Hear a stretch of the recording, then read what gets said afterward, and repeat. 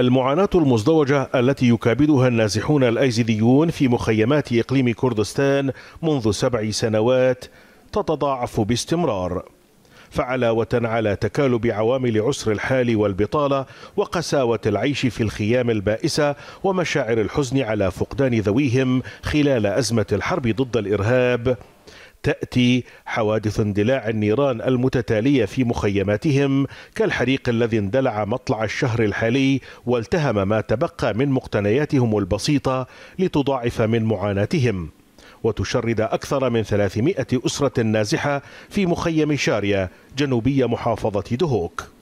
إدارة المخيم شرعت باعتماد حلول آنية لإيواء هؤلاء النازحين المشردين. المتضررون حاليا مقسمين على مجموعتين. المجموعة الأولى إحنا مسوي لهم خيم داخل المخيم خيم مؤقتة. آه، والمجموعة الثانية قاعدين ويا قرايبهم.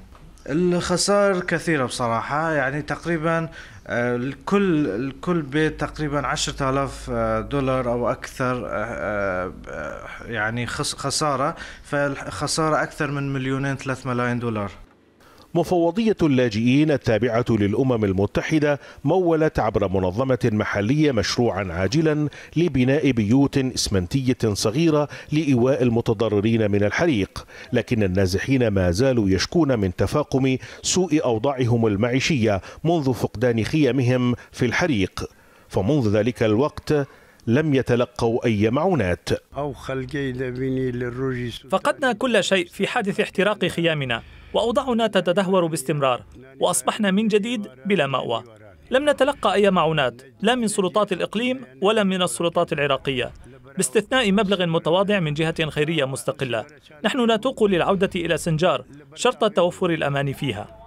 وتبعا لخطط إدارة المخيمات فإن هذه الخيام المتشابكة ستستبدل قريبا ببيوت متواضعة من الإسمنت تفاديا لتكرار حوادث الاحتراق مما يعني ضمنا أن مكوث النازحين هنا قد يستمر لفترة طويلة. يقول النازحون في هذا المخيم إن استمرار مسلسل معاناتهم القاسية أفقدهم الإحساس بكل مباهج الحياة إلا شوقهم لذويهم المفقودين.